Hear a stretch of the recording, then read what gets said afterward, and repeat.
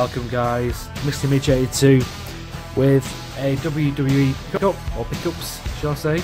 Um, these items came through the post yesterday and today.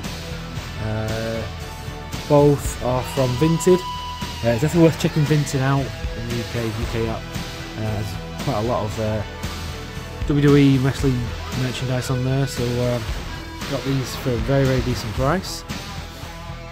So let's get cracking on. And the first item I've got, uh, this is a t-shirt.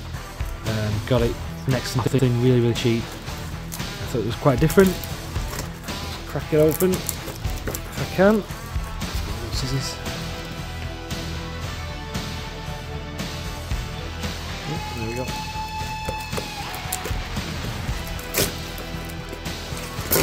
There we are.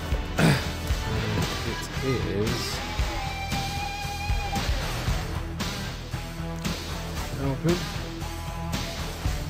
Say Ultimate Warrior t-shirts. Uh, I thought it was a different t-shirt because it's the older version of the Ultimate Warrior, and it was originally from uh, Ultimate Creations 2015. I think I believe that was the Ultimate Warrior's own company. He released all his own merchandise on. So yeah, sorry, I think it was less than five pound.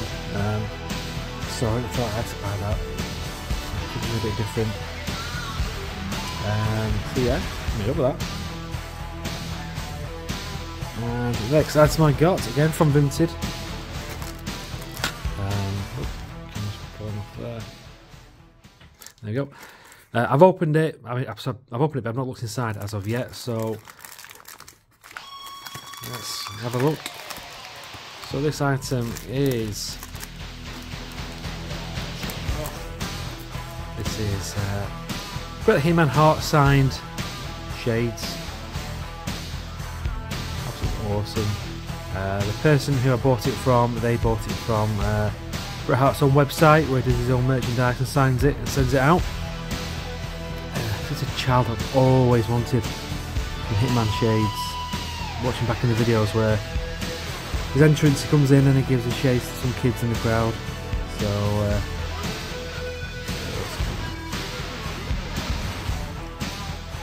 logo there. Back. Not there. Can't see? So, but yeah, I've been made up with that. Uh, I'm going to try and get it framed. Stick it on the wall.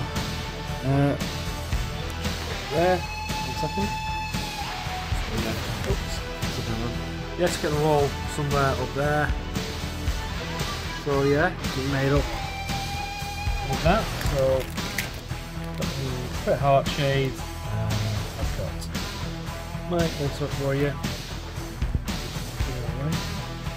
Warrior t-shirt. Thank you so much for watching guys. If you like, subscribe or comment. See what you think you of these. Much. Thanks for watching. See you again very soon.